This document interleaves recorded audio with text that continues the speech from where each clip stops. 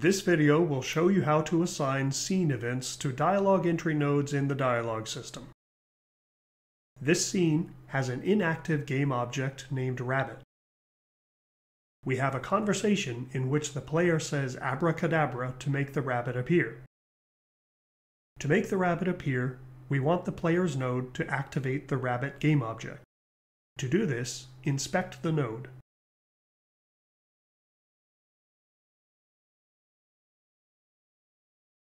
Expand the Events section. The default Unity event can access non-scene objects, such as scriptable object assets in your project.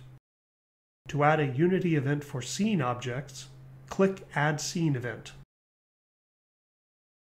Then simply set up the event in the inspector. Note that unlike the default Unity event, scene events are stored in a specific scene.